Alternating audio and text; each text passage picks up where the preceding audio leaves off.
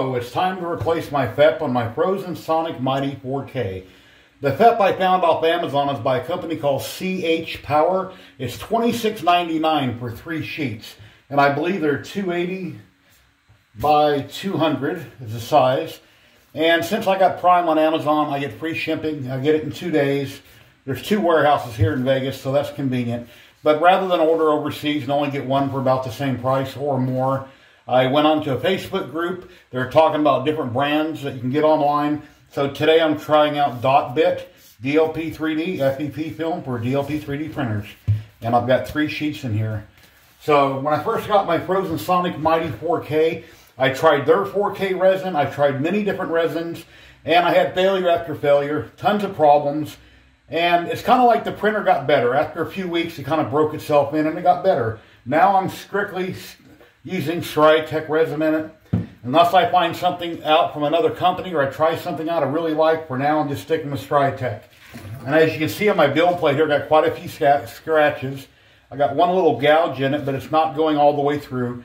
I Earlier I dumped out the resin. I cleaned it out really good with, uh, I use, uh, where's it at?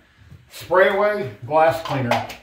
Whenever I clean up any kind of resin spills, I love Sprayway Glass Cleaner. You can buy it anywhere. It works really good. So I wiped out my vat really good. I drained it back into my bottle, scraped out all the excess I could with a spatula. Then I sprayed it out good with, real good with the glass cleaner. And once we replaced the FEP today, something I highly recommend if I can find the bottle. On my Elegoo Mars, I always use PTFE lube, lubricant. I would put it into the build surface. I put it down here on the FEP. I'd wipe it in with a blue shop towel. These will not scratch like a regular white paper towel will. I would wipe it in, pour my resin. That assisted me and it worked quite well.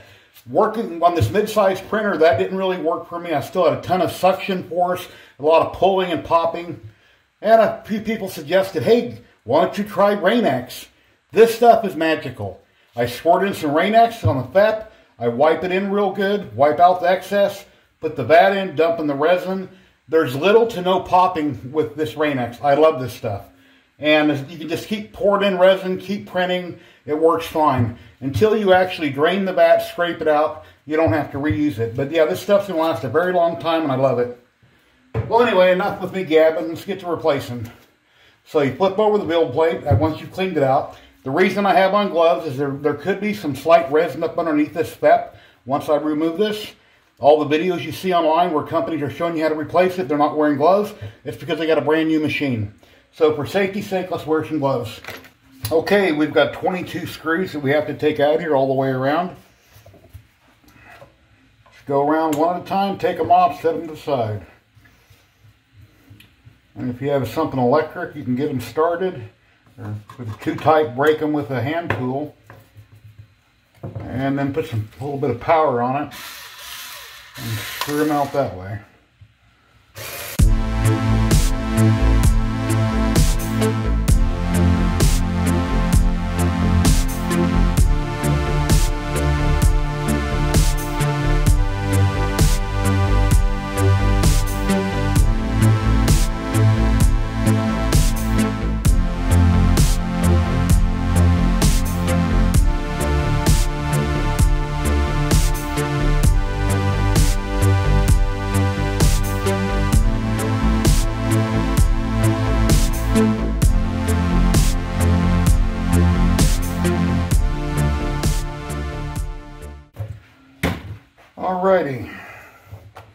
Pop it up from underneath. Take that off and yeah, we've got resin on the lip. Grab a blue shop towel and wipe that off real good. You can take your spray away glass cleaner and clean it if you like. Or just wipe it off real well. Because we'll get more resin on when it goes back in the vat. And one side is flat that goes down against the FEP. And the other side is countersunk. Obviously that's where the screw goes. And the tapered part will go on the top here. So, and take this old piece of FEP, and you can see how it's shaped at an angle. Once it's in there really super tight, it reforms itself. So, that's no good. It's garbage now. Throw that away. Wipe this frame up real good. In case there's any residue or resin on that lip. Alrighty. I got my new piece of FEP here. One of three. It's going to have a plastic covering on both sides, kind of like your LCD screen does here. So let me take off my gloves here so I can feel that.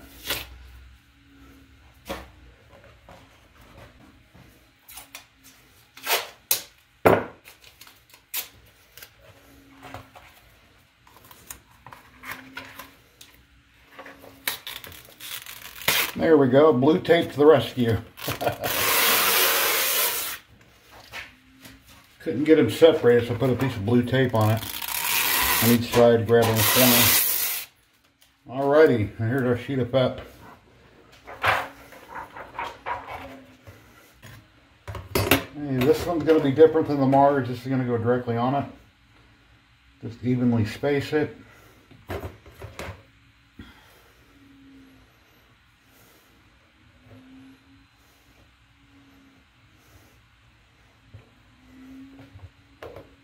Yeah. And you put all the screws in and press it down, it's going to pull extremely tight.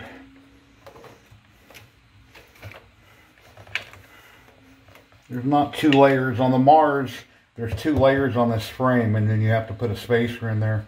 On this one, we're not going to do that. I'm going to pop it through and tighten it up, and as it sucks itself down, it's going to pull the FEP tight all the way around. And then we'll jump around when we tighten it up. Take our first little bolt here and start in a corner and you just press it and it'll pop through the FEP. Make a little popping sound. You can take that one in, do not snug, just get it kind of snug, not tight. Let's go ahead and do all four corners. Kind of jump around. It'll press right through the FEP. You can put a little pressure on it and snug it down a little bit.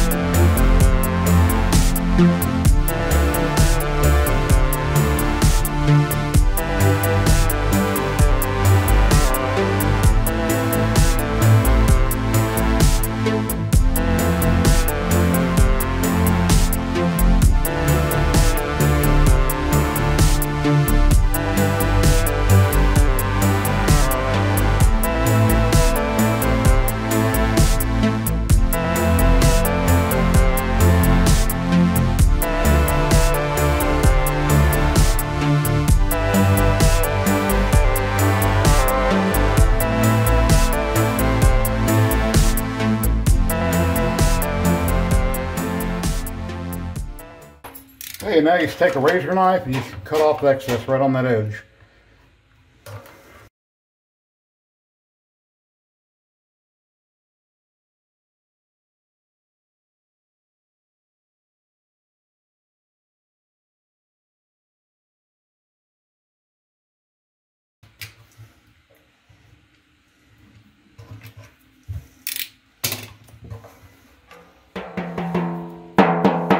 Nice and tight. Sounds good. Okay, the next thing I want to do, where's it at? Take a little bit of Rain-X like I was talking about, put a little bit in there, take a blue shop towel, just wipe it around real good and coat it. You basically dump it in, you wipe it out.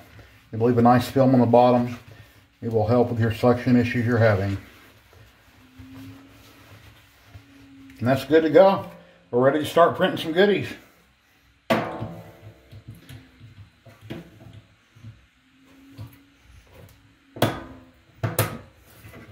Yeah, I had to press it down through the FEP there to get it back on those holes. So please like, subscribe, and share, and hope you liked the video. Thank you. Have a happy printing, everybody.